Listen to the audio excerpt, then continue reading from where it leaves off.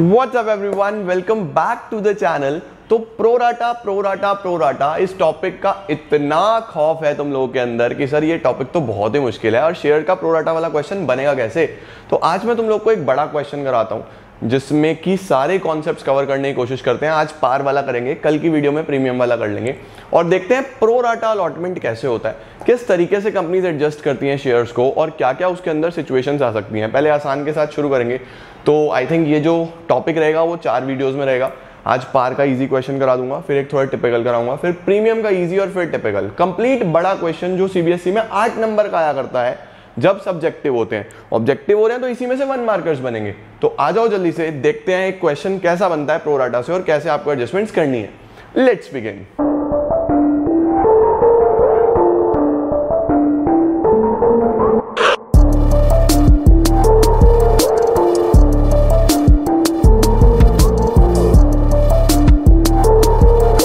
Guys question आता कैसे है? तो सबसे पहले तो एक काम करो, तुम लोग क्वेश्चन की फ्रेमिंग देख लो कि क्वेश्चन बनता कैसे है। देखो, मैंने क्वेश्चन को पैराग्राफ में ना लिख के, समझाने के लिए, चीज़ें आसान बनाने के लिए इसको इस तरीके से लिखा है। देखो, कैसे क्वेश्चन आएगा आपके पास? आपके पास आएगा कि कंपनी ने ऑफ़र करे fifty thousand share to the public जनता को पचास हज़ार शेयर ऑफ़र करे। वो शेयर दस रुपए का एक था टेन रुपीज़ का एक था। जिसमें एप्लीकेशन पे तीन अलॉटमेंट पे चार फ़र्स्ट कॉल पे टू और सेकंड कॉल पे बैलेंस मांगा गया। दस रुपए का शेयर है एप्लीकेशन पे तीन रुपए, फिर चार रुपए, फिर दो रुपए। तो देखो, चार, पाँच छः सात, आठ, नौ रुपए हुए। तो सेकंड कॉल पे कितना पैसा आएगा? सेकंड कॉल पे आएगा एक रुपए का बैलेंस कितना बैलेंस आ जाएगा? वन रुपीज़ का बैलेंस आ जाएगा। तो दस में से एप्लीकेशन अलॉटमेंट फ़र्स्ट और सेकेंड कॉल ये इस तरीके से मांगी गई। अब देखो, जब कंपनी शेयर इशू करती है तो कंपनी को नहीं पता होता कि कितने लोग अप्लाई करेंगे। जैसे फॉर एग्ज़ाम्पल कोई प्रोडक्ट मार्केट में आता है तो आपको तो नहीं पता ना कि कितने कस्टमर आ जाएँगे आपका प्रोडक्ट लेने के लिए। तो शेयर्स में भी ऐसा ही होता है। अब जनता क्या करती है? जैसे सपोज़ मुझे शेयर लेने हैं तो मुझे एप्लीकेशन मनी भेजना है। तो कितने शेयर्स के लिए एप्लीकेशन आ गया? सिक्सटी थाउज़ेंड शेयर्स के लिए। सिक्सटी थाउज़ेंड लोगों ने कहा कि हमें शेयर लेना है। कंपनी के पास देने के लिए कितने शेयर्स हैं? फिफ्टी थाउज़ेंड शेयर्स कंपनी के पास देने के लिए कितने शेयर्स हैं? फिफ्टी थाउज़ेंड तो अब कंपनी को जितने लोग सिक्सटी थाउज़ेंड शेयर मांग रहे हैं, उन्हें पचास देने हैं, चाहे किसी को कम दो। भाई, अगर कोई दो मांग रहा है तो उसको एक दो, या फिर किसी को सारे दे दो।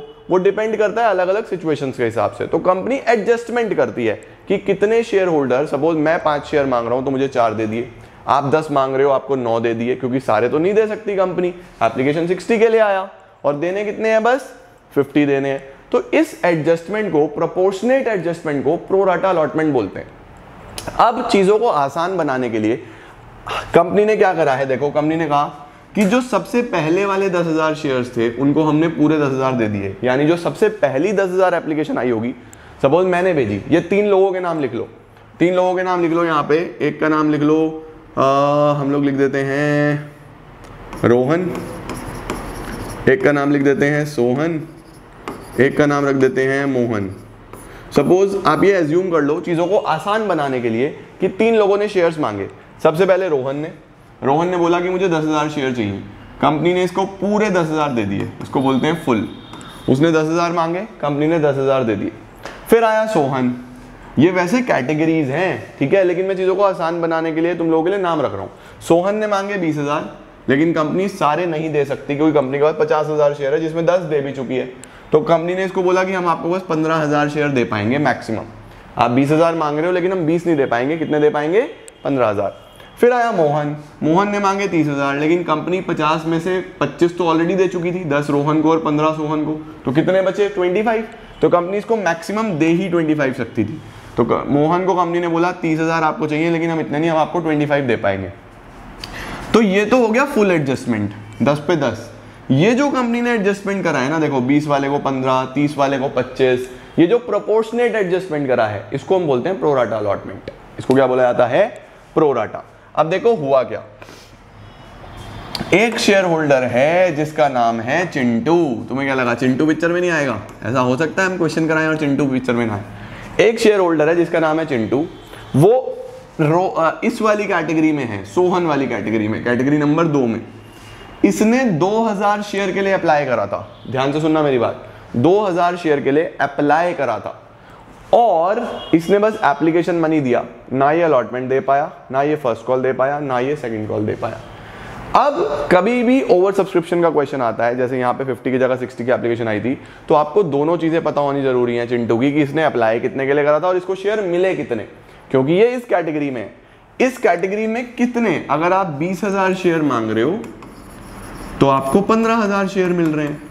यानी कि यहाँ पे जो रेशो है, वो है फोर रेशो थ्री अगर आप चार शेयर मांगते हो तो आपको तीन मिलते हैं। हाँ या ना? यही तो रेशो बना कि अगर आप बीस हज़ार मांग रहे हो तो आपको पंद्रह मिल रहे हैं। इस रेशो को निकाल लिया करो। ठीक है? अब बात कर लेते हैं चिंटू की। तो ऐसे आप एक फॉर्मूला बना लो, रटने की ज़रूरत नहीं है। अप्लाई कितने करे और अलॉट कितने हुए? अप्लाई अगर चार करे तो अलॉट तीन हुए होंगे। देखो अप्लाई अगर 20 के लिए करा तो मिले 15 आप 20 अपॉन फिफ्टीन भी लिख सकते हो। अगर आपको इस चीज़ में दिक्कत आ रही है, ठीक है? अब देखो, अगर चार शेयर मांगे, मिले तीन, चिंटू ने कितने मांगे थे? 2000 तो चिंटू को कितने मिले होंगे? कितने अलॉट हुए होंगे? इसका क्रॉस मल्टीप्लीकेशन कर दो। Three into two six thousand is equal to four allotment तो allotment is equal to six thousand divide by four fifteen hundred shares इसको मिले होंगे। इसको कितने शेयर्स मिले होंगे? 1500 तो ऑलवेज रिमेंबर आपको पता होना चाहिए कि अप्लाइड कितने और अलॉटेड कितने। अगर कंपनी ने क्वेश्चन ने आपको अलॉटेड दिया हुआ है तो यहाँ पे आप रख देना अलॉट को रख देना ऊपर। करना क्रॉस मल्टीप्लाई है। ठीक है? चलो अब करके देखते हैं क्वेश्चन होगा कैसे। ये तो क्वेश्चन हो गया हमारे पास। सबसे पहली एंट्री क्या होती है? देखो। सबसे पहली एंट्री होती है bank account debit bank account debit to share application account आपको एप्लीकेशन कितने शेयर्स पे आया? एप्लीकेशन आया सिक्सटी थाउज़ेंड शेयर्स पे। तो sixty thousand into three application तीन रुपए का था तो सिक्सटी पे तीन। One lakh eighty thousand rupees अब आपको क्या करना है? देखो जी। Share application account debit to share capital यहाँ पे तो 180 ये एज इट इज़ जितना एप्लीकेशन ऊपर, इतना ही एप्लीकेशन नीचे। अब देखो कैपिटल में कितना अमाउंट जाएगा? कैपिटल में वो जाता है जितनी कंपनी को सच में कैपिटल चाहिए थी। कंपनी को कितनी कैपिटल चाहिए? यार कंपनी को पचास हज़ार इंटू दस, पाँच लाख रुपए की कैपिटल चाहिए। जिसमें से कंपनी ने एप्लीकेशन पे सिर्फ़ तीन रुपए मांगे हैं। तो fifty thousand into three one lakh fifty thousand rupees ठीक है?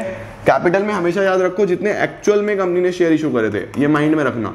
Fifty thousand into three one fifty इसका मतलब मुझे यहाँ से दिख रहा है कि तीस हज़ार रुपये का डिफरेंस आ रहा है। थर्टी थाउज़ेंड रुपीज़ एक्स्ट्रा है। अब वो थर्टी थाउज़ेंड रुपीज़ किसके एक्स्ट्रा होंगे, कैसे एक्स्ट्रा होंगे, देखो इन कैटेगरीज के एक्स्ट्रा है। देखो, रोहन ने तो दस हज़ार शेयर मांगे, इसको दस हज़ार दे दिए, एक भी रुपया फालतू नहीं है रोहन का, ठीक है? सोहन ने बोला था कि मुझे बीस हज़ार शेयर चाहिए, और इसने बीस हज़ार पे एप्लीकेशन तीन रुपए के हिसाब से भेजा होगा ना? Twenty thousand into three sixty thousand rupees भेजे होंगे। कंपनी ने इसको शेयर्स कितने दिए? Fifteen thousand fifteen into three forty five thousand rupees तो क्या फिफ्टीन थाउज़ेंड रुपीज़ एक्स्ट्रा हो गए इसके? पंद्रह हज़ार रुपये इसके फालतू हैं या नहीं है? है ना? देखो, इसने बोला था बीस हज़ार शेयर चाहिए। कंपनी ने दिए मात्र पंद्रह हज़ार। तो रुपए पंद्रह हज़ार इसके फालतू हो गए कंपनी के पास। सिमिलरली मोहन। मोहन ने मांगे थे तीस हज़ार शेयर और इसने तीस हज़ार पे तीन रुपए के हिसाब से नाइन्टी थाउज़ेंड भेजे होंगे। कंपनी ने इसको दिए twenty five thousand shares twenty five पे थ्री के हिसाब से सेवेंटी फाइव थाउज़ेंड तो इसके भी कितने पैसे एक्स्ट्रा हो गए? पंद्रह हज़ार. पंद्रह हज़ार यहाँ से एक्स्ट्रा हो गए. तो टोटल एक्स्ट्रा कितना हुआ? पंद्रह प्लस पंद्रह. तीस हज़ार फालतू हुए या नहीं हुए?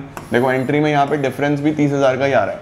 वन एट्टी एप्लीकेशन पे आए, जबकि मुझे चाहिए थे सिर्फ़ वन फिफ्टी थर्टी एक्स्ट्रा आ गए. अब कंपनी क्या करती है? ध्यान से मेरी बात को समझना.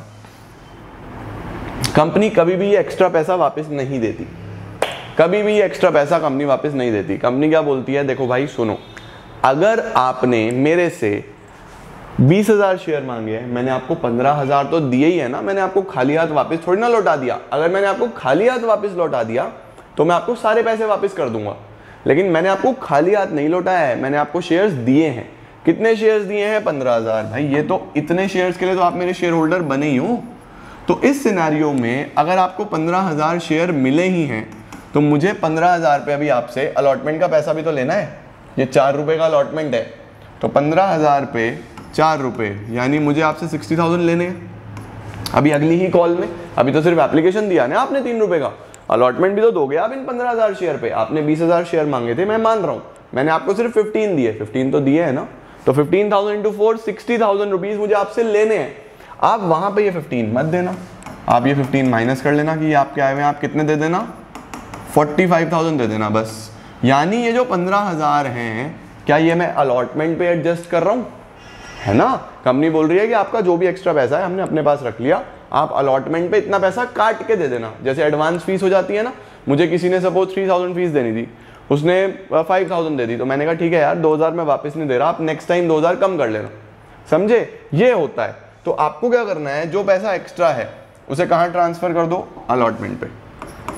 टू शेयर अलॉटमेंट कितना पैसा? थर्टी थाउज़ेंड फिफ्टीन थाउज़ेंड तो इस वाली कैटेगरी का और फिफ्टीन इस वाली कैटेगरी का। क्योंकि इससे भी, इसको भी पच्चीस हज़ार शेयर तो दिए ही हैं आपने तो पच्चीस हज़ार पे चार, एक लाख रुपए तो इससे भी लेने हैं। एक लाख में से पंद्रह हज़ार नहीं देगा यार एट्टी फाइव दे देगा। ठीक है ना? अच्छा ये एडजस्ट हो गया। चलो अब अलॉटमेंट मांगते हैं। अब पैसा सबका एडजस्ट हो गया? अलॉटमेंट मांगो। शेयर अलॉटमेंट अकाउंट डेबिट कितना अलॉटमेंट मांगोगे आप लोग? शेयर अलॉटमेंट मुझे अगर डेबिट करना है तो कितना अलॉटमेंट मुझे मांगना है? मैं अलॉटमेंट मांगूँगा पचास हज़ार शेयर पे फिफ्टी थाउज़ेंड शेयर्स पे, चार रुपए के हिसाब से। फिफ्टी थाउज़ेंड पे चार रुपए के हिसाब से दो लाख रुपए। अलॉटमेंट मांगूँगा फिफ्टी थाउज़ेंड पे। Share allotment account debit to share capital दो लाख रुपए मैंने मांग लिए। अब सोचो आप क्या दो लाख में से ये थर्टी थाउज़ेंड पहले ही आया हुआ है? ये दोनों तो मना करेंगे, ये बोलेंगे, देखो जी, पंद्रह हज़ार मैंने पहले दिए हुए थे, पंद्रह हज़ार मैंने पहले दिए हुए थे। ये इनके एक्स्ट्रा थे या नहीं थे? फिफ्टीन थाउज़ेंड तो इसके और फिफ्टीन थाउज़ेंड इस कैटेगरी के। तो टोटल थर्टी थाउज़ेंड पहले से आए हुए हैं। तो अब अलॉटमेंट पे मिलना कितना था? Bank account debit to share allotment देखो शेयर अलॉटमेंट डेबिट हुआ दो लाख तो क्रेडिट भी दो लाख होना था, जिसमें से थर्टी पहले क्रेडिट हो चुका है। तो अब कितना क्रेडिट होगा? 170 इस चीज़ का ध्यान रखना। दो लाख में से थर्टी तो पहले हो गया था ना तो 170 ही होना है। ओके अच्छा लेकिन अलॉटमेंट पे चिंटू ने पैसा दिया नहीं। देखो, ये दिया चिंटू ने, ये तीनों ही नहीं दिए। यानी चिंटू ने अलॉटमेंट पे तो पैसा दिया नहीं। तो अलॉटमेंट पे जो हो गया, उसको बोलते हैं arrears arrear is a loss for the company company उसको डेबिट करती है. कॉल्स इन एरियर डेबिट अब बच्चे क्या गलती करके आते हैं एग्जामिनेशन में? आप लोग क्या गलती करके आते हो कि आपको पता होता है कि चिंटू के पास कितने शेयर्स हैं? 1500 शेयर इसने ये चार रुपए नहीं दिए. तो ये गलती कराते हैं, ये सीधा सीधा ऐसा लिखाते हैं कि 1500 शेयर और चार रुपए इसने नहीं दिए. तो सिक्स थाउज़ेंड रुपीज़ का एरियर्स हो गया. मुझे बताना कमेंट सेक्शन में कि आपको यही लगा था पहली नज़र में कि क्या ऐसा हुआ। लेकिन ऐसा नहीं है। ये गलत हो जाएगा। देखो चिंटू ने शेयर्स मांगे कितने थे? चिंटू ने अप्लाई करा था 2000 शेयर के लिए। इसका मतलब चिंटू ने 2000 पे तीन रुपए के हिसाब से सिक्स थाउज़ेंड का एप्लीकेशन भेजा होगा। एप्लीकेशन कितना भेजा होगा? सिक्स थाउज़ेंड का। और हमने चिंटू को शेयर दिए कितने हैं? How many share Chintu have got कितने शेयर्स हैं इसके पास? मात्र 1500 शेयर तो 1500 पे तीन, पैंतालीस सौ. पैंतालीस सौ रुपये मुझे चिंटू के रखने हैं, ठीक है? तो चिंटू के कितने शेयर्स सॉरी कितने रुपए एक्स्ट्रा हो गए? Fifteen hundred fifteen hundred rupees Chintu के एक्स्ट्रा हैं हमारे पास. करेक्ट हो गया इतना काम. अब देखो, एक चीज़ ध्यान से समझो. अब जब मैं इससे अलॉटमेंट मांगूँगा तो मैं अलॉटमेंट कितने शेयर्स पे मांगने वाला हूँ चिंटू से? इसको कितने शेयर्स दिए थे? 1500 दिए थे। इसने 2000 मांगे 2000 पे तीन 6000 हमने दिए कितने? 1500 1500 पे तीन, पैंतालीस सौ। तो चिंटू का कितना पैसा फालतू है? पंद्रह सौ रुपये फालतू है या नहीं है? हमने बोला, ठीक है जी, आपके पास 1500 शेयर्स हैं। 1500 पे चार अलॉटमेंट पे आपको 6000 देने थे। जिसमें से आपके ये 1500 पहले आए हुए हैं। ये 1500 आपके पहले आए हुए हैं तो आप बस पैंतालीस सौ रुपये दे दो। आपके ये ड्यू हैं। ये आपको पैसा देना है, क्योंकि 6000 में से 1500 इसका पहले आया हुआ है ना? ये 1500 सर कहाँ पे होगा इंक्लूडेड ये 1500 इस पैसे में इंक्लूडेड होगा, ये जो आपने अलॉटमेंट पे ट्रांसफ़र करा हुआ है। क्योंकि इसी कैटेगरी में था ना चिंटू भी तो इसका हमने पैसा सारा पंद्रह का पंद्रह यहाँ डाल दिया। पंद्रह हज़ार में से पंद्रह सौ इसके होंगे, लेकिन तुम लोग उसमें कन्फ्यूज़ मत हो। बस ये लेके चलो कि छह हज़ार में से पंद्रह सौ इसके पहले आए हुए थे। तो एरियर कितना होगा एक्चुअल में? एक्चुअल एरियर होगा ये। फोर्टी फाइव हंड्रेड रुपीज़ का। एक्चुअल एरियर कितना होगा? फोर्टी फाइव हंड्रेड रुपीज़ का। छः हज़ार नहीं होगा, ये याद रखना। फोर्टी फाइव हंड्रेड का एरियर हो गया। तो one seventy minus forty five hundred कितना बैठ जाता है हमारे पास? 170 minus forty five hundred is one sixty five five hundred कितना पैसा आ जाएगा हमारे पास? 165 500 क्योंकि वो नहीं दे पाया। अब मांगते हैं first call sir first call मांगने की क्या एंट्री बनेगी? आओ जी नंबर पाँच। Share first call debit to share capital कितने शेयर्स थे? टोटल जिन पे पैसा लेना है, पचास हज़ार शेयर पचास हज़ार शेयर पे फ़र्स्ट कॉल कितने का था? दो रुपए का। फ़र्स्ट कॉल था दो का fifty thousand into two one lakh one lakh ठीक है? यहाँ पे भी चिंटू ने पैसा नहीं दिया। तो bank account debit to share first call और जो पैसा चिंटू ने नहीं दिया, उसको क्या बोलते हैं हम लोग? कॉल्स इन एरियर डेबिट देखो शेयर फ़र्स्ट कॉल आ गया one lakh share first call one lakh arrear कितना है? अब आप डायरेक्टली कर सकते हो यहाँ पे कि चिंटू के 1500 शेयर थे। 1500 पे दो। तीन हज़ार का एरियर आ गया। 1500 पे दो, तीन हज़ार रुपए का एरियर आ गया। सर, अब डायरेक्टली कैसे कर सकते हैं? देखो, आप सीधा सीधा सोचो। जितना भी एडवांस था, वो एडवांस बस अलॉटमेंट तक था, यहाँ तक। कॉल तक कोई भी एडवांस नहीं गया था। यानी कोई भी ऐसी कैटेगरी नहीं थी, कोई भी ऐसा शेयर होल्डर नहीं था, जिसने कॉल का पैसा भी एडवांस में दिया हो। कोई नहीं था। मैक्सिमम अलॉटमेंट तक हुआ था तो हमें वहाँ पे चिंटू का भी अलॉटमेंट तक देखना पड़ा था। कॉल तक कोई एडवांस नहीं है तो आप डायरेक्टली एरियर लिख दो। One lakh minus three thousand तो नाइन्टी सेवन थाउज़ेंड आपको रिसीव हो जाएँगे। लास्ट कॉल मांगो। Share second and final call debit second and final call debit to share capital पचास हज़ार शेयर पे। एक रुपये का है। पचास हज़ार रुपये फिफ्टी थाउज़ेंड आप यहाँ पे ले रहे हो। जब हमें रिसीव होगा तो bank account debit